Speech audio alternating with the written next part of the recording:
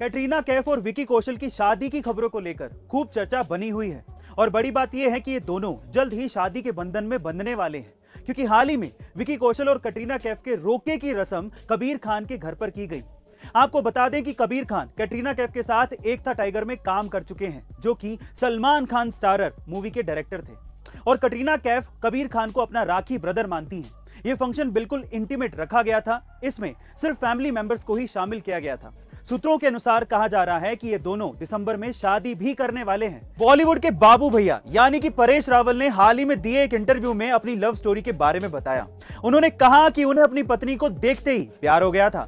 पर मज़े की बात यह थी कि जिस कंपनी में वो काम करते थे, उनकी पत्नी उसी कंपनी के बॉस की बेटी थी।